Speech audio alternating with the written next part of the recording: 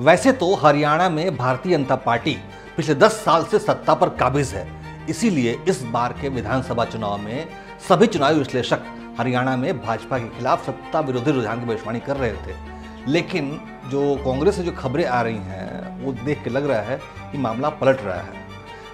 चुनावी विश्लेषकों का मानना था कि भारतीय जनता पार्टी के लिए दोबारा हरियाणा में भाजपा का सत्ता में लौटना बेहद मुश्किल है।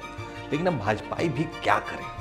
जब कांग्रेस के नेता उसे प्लेट में परोस कर सत्ता देने के लिए बेचैन हो रहे हैं तो भाजपा मना भी कैसे कर सकती है?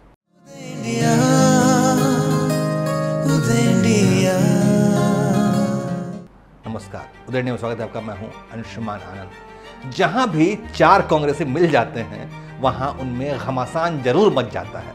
हरियाणा में भी कुछ ऐसा ही दृश्य दिखाई दे रहा है। हरियाणा में विधानसभा चुनाव के लिए 4 अक्टूबर को मतदान होने वाला है, लेकिन इससे पहले कांग्रेस की अंदरूनी कलह एक बार फिर से सामने आ गई है। वह यूँ कि जैसे ही हरियाणा में विधानसभा चुनाव की घोषणा हुई, सिरसा लोकसभा सीट से सांसद कुमारी सैलजा तुरंत एक्टिव हो गई।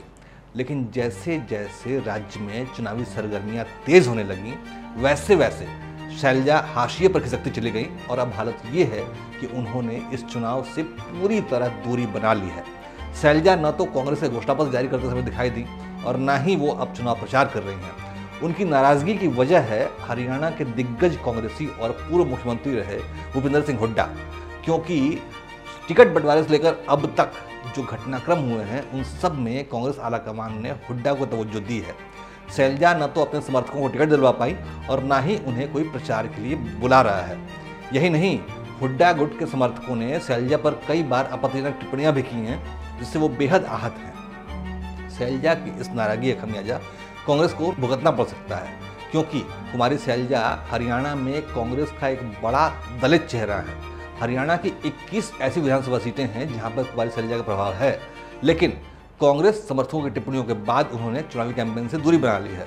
उन्होंने इस मुद्दे पर कोई भी टिप्पणियाँ बयान भी नहीं दिया है। शैलजा की यह खामोशी जो है, वो कांग्रेस की चिंता बढ़ा रही है। नारनौंद में कांग्रेस उम्मीदवार जस्सी पेटवाड़ के नामांकन कार्यक्रम में एक समर्थक ने कुमारी शैलजा पर जातिगत टिप्पणी की थी। इस मामले में तुल पकड़ा और जगह जगह विरोध भी हुआ। है बताया जा रहा है कि शैलजा इस बात से बहुत नाराज़ चल रही हैं, लेकिन कांग्रेस पार्टी ने आरोपी के खिलाफ कोई विशेष कार्रवाई भी नहीं की है। उधर हरियाणा में कांग्रेस का जो टिकट बंटवारा हुआ है, उसमें भी कुमारी शैलजा की राय नहीं ली गई। कांग्रेस हाईकमान ने हुड्डा समर्थकों को तवज्जो देते हुए 90 में से बहत्तर सीटों पर हुड्डा के समर्थकों को टिकट दिया है। जबकि शैलजा ने अपने समर्थकों के लिए 35 सीटें मांगी थी, लेकिन उन्हें सिर्फ़, उनके सिर्फ़ 10 समर्थकों को टिकट दिया गया है।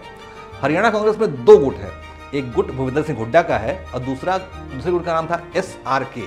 S R K में जो एस है वो शैलजा का है, आर जो है वो रणदीप सुरजेवाला है और के यानी किरण चौधरी। लेकिन किरण चौधरी अब भाजपा में शामिल हो चुकी हैं, इसके बाद इस गुट में से दो ही नेता बच गए हैं, यानी कि शैलजा और रणदीप सुरजेवाला। और ये दोनों गुट हैं, यानी हुड्डा और एस आर के गुट, इन दोनों के बीच चुनावी कैंपेन में पोस्टर्स लेके बयानबाजी तक, इन सब में साफ़ तौर पर तनातनी दिखाई देती है। सीएम उम्मीदवार को लेकर दोनों गुटों में अक्सर बयानबाजी होती रहती है।